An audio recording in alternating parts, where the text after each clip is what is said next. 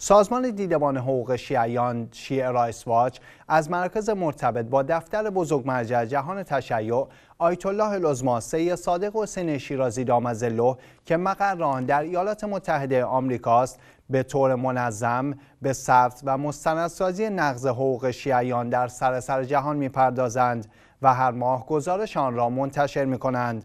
در گزارش این ماه Shia Rights Watch به شیعیان ایران، افغانستان، پاکستان، بحرین، کنیا، عربستان و عراق پرداخته است. همکارم علی اکبری گزارش می دهد. سازمان دیدبان حقوق شیعیان شیعه رایتس واچ در گزارش ماهیانه خود از نقض حقوق بشر علیه شیعیان در برخی از کشورهای جهان پرده برداشت. این سازمان درباره نقض حقوق بشر علیه مسلمانان شیعه از یکم اکتبر تا یکم نوامبر 2022 میلادی نوشت. گروهک های تکفیری سنی های تندرو عملیات های تروریستی بسیاری را علیه شیعیان انجام دادند. علاوه بر این برخی از رژیم ها و دولت ها نیز به سرکوب و شکنجه آنها اقدام کردند. این سازمان در گزارش خود آورده. 25 اکتبر عملیات تروریستی در حرم شاه چراغ شیراز رخ داد که به شهادت 15 نفر و زخمی شدن 23 نفر منجر شد. همچنین در 27 اکتبر نیز یک بمب در شیراز خونسا شد. این گزارش درباره وضعیت شیعیان افغانستان آورده.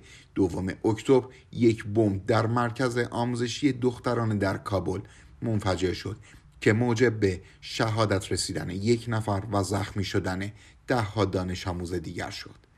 سوم اکتبر نیز یک اتوبوس حامل کارکنان افغانستانی در کابل هدف قرار گرفت.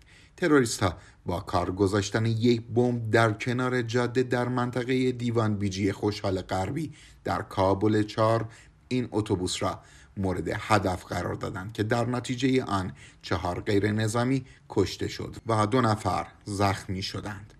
دهم اکتبر هم نیروهای امنیتی طالبان به سرکوب تظاهرات زنان در شهر هرات اقدام کردند. این سازمان در گزارش خود با اشاره به وضعیت شیعیان پاکستان نوشت دوم اکتبر افراد مسلح رو یک مداع شیعه به نام نوید عاشق را در یکی از خیابانهای پاکستان ترور کردند.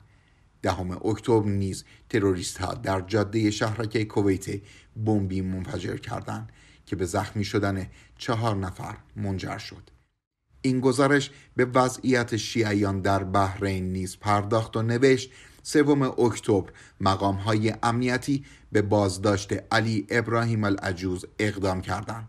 سیزدهم اکتبر دادگاه بحرین احمد الشیخ علی حبیل فعال مدنی را به دلایل سیاسی به یک سال حبس محکوم کرد. مقام های امنیتی جاسم مدن را نیز 21 اکتبر به دلایل سیاسی بازداشت کردند.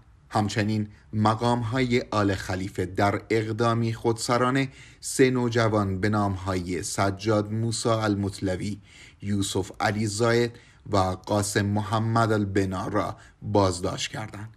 25 اکتبر نیز تعدادی از نگهبانان زندان جو به ضرب و شتم زندانیان از جمله حسین علی صالح خلیل ابراهیم عبدالرسول سید عبدالله سید امین و محمد عباس البهبکان اقدام کردند. سی یکم اکتبر نیز نیروهای حکومتی به منازل ساکنان شهرک کرباباد یورش بردند که به بازداشت حسین السمی منجر شد. در همین روز مقام های امنیتی قاسم حسن عبدالکریم از ساکنان شهرکان را در منزلش بازداشت کردند. در این گزارش درباره وضعیت شیعیان کنیا آمده یک گروه مسلح 24 اکتبر ارشد شریف روزنامه نگار پاکستانی شیعه را در نایروبی کنیا ترور کردند. این سازمان در گزارش خود با اشاره به وضعیت شیعیان عربستان نوشت 20 اکتبر یکی از دادگاه های عربستان مشتبه نمر روحانی شیعه را به دلایل سیاسی به دوازده سال زندان محکوم کرد. در این گزارش آمده در عراق هم تروریست ها پنجم اکتبر به ساکنان روستای اسماعیل پیامبر در استان دیالی حمله کردند. نهم اکتبر نیز تروریست ها یک بمب در جاده شهرک جرف و نصر شمالی استان بابل منفجر کردند که در نتیجه آن یک نفر کشته شد. در همین روز عناصر داعش تلفر در غرب موسل را بمب گذاری کرده که در نتیجه آن دو نفر غیر نظامی زخمی شدند. علی اکبری اخبار شیعه.